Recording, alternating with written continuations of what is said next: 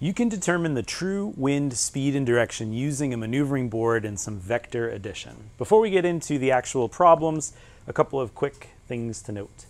If your vessel is underway, making way, you're going to have a couple of different vectors, which is a direction and a magnitude, that are affecting you.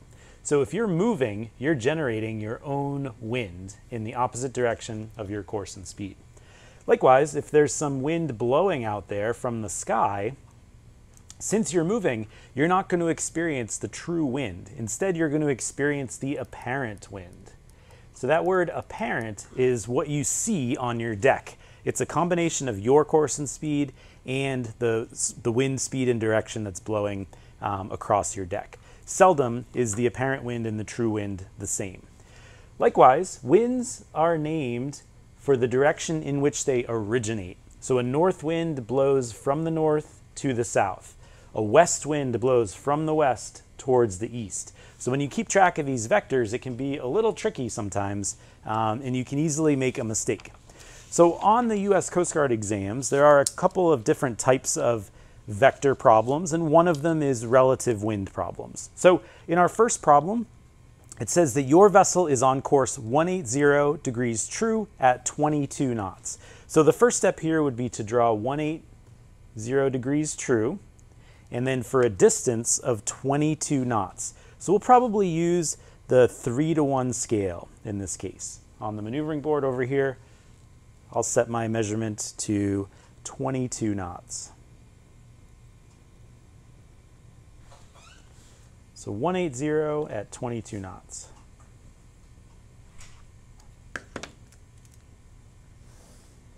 So that represents E to R. And you can remember this as E to R is our course and speed.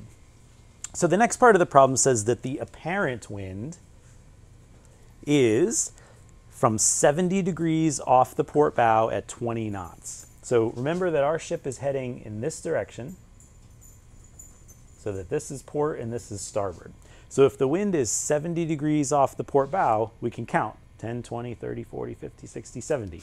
So it's coming from here because winds are always named for the direction in which they blow. So what you can do is you can set your triangle to that level right there and then parallel it over to the R point. So then if we draw that vector in the same direction and for a distance of 20 knots on a 3 to 1 scale, we end up with a new point. This point you can label W. So W sort of stands for relative wind or apparent wind here, R to W, but you've got your E to R vector for our course and speed, the R to W for the apparent wind vector, and then the answer is going to be from E to W. From E to W. Now it's very easy to get this incorrect and say that, um, you know, all right, the answer is 230 degrees there. But the thing to remember is that winds come from a certain direction. So although the wind is blowing from E to W, we name things for winds the opposite. So it's easy to just kind of leave your triangle set there and make a mark over here at 0, 5, 1 degrees true. So the wind is coming from 51 degrees and it's blowing across your, your deck and then blowing over towards this distance. So on a normal maneuvering board, if you've used these for other things, this would be your answer from E to W, but winds are named from E to W. One thing you can remember is the acronym WET, W-E-T. W-E-T, that's your answer over here. W-E-T, that's your answer over there. Okay, so that illustrates kind of um, the direction of the wind, but what about the speed of the wind? It's going to be equal to the distance of this vector here on a 3 to 1 scale. So about, you know, 24 knots is what we've got there.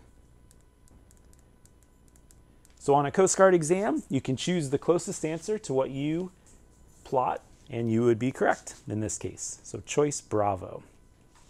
Let's do another practice problem. In this case, your vessel is on course 270 at 10 knots. So we'll go 270 and we'll also use a 3 to 1 scale for this one just to be safe.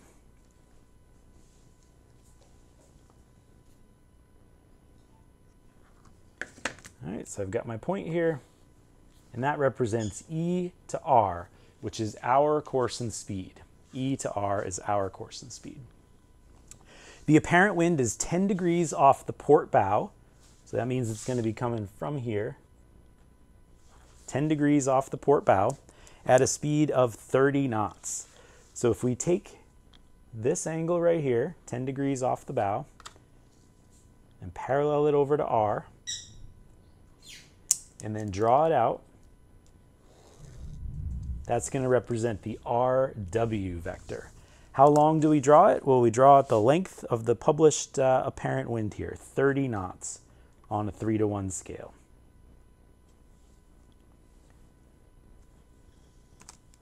So that would be our point right there. So what is the true wind? What is the true wind? Well, it blows from E to W, but we name things opposite. So you can remember the acronym WET and then just make your mark kind of over there at a course of 255 degrees true. So the wind is coming from 255. W-E-T is your answer. And it blows in this direction across your deck and out there according to the vector. If you needed the wind speed, you could measure this distance on a 3 to 1 scale. It should be around 21 knots or so. They don't ask for that in this Coast Guard problem. However, uh, that's the way that you would do it. The other thing to know is that on a vessel that is moving ahead, the true wind is always on the same side and aft of the apparent wind. So you could draw your ship out here and note that the true wind here is on the same side but aft of the apparent wind. All right, so that's a quick look at how to do apparent wind and relative wind problems on the maneuvering board.